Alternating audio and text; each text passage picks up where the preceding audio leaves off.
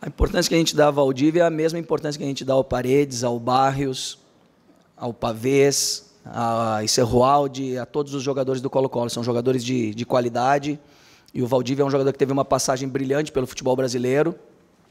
Não incomodou certamente só os torcedores do Corinthians, mas torcedores de outros clubes do Brasil. E a importância que a gente dá para ele é a mesma que a gente dá aos demais jogadores do Colo-Colo.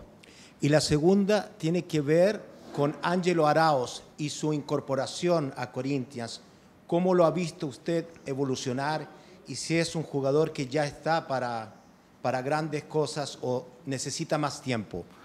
Está passando por um processo de adaptação até mais rápido do que a gente imaginava que fosse ter. Vem sendo uma peça bem importante quando entra nos jogos, alguns jogos saindo como titular.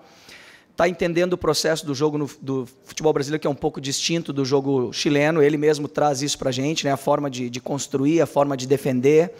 Mas é um jogador extremamente qualificado que certamente vai brilhar muito no Corinthians.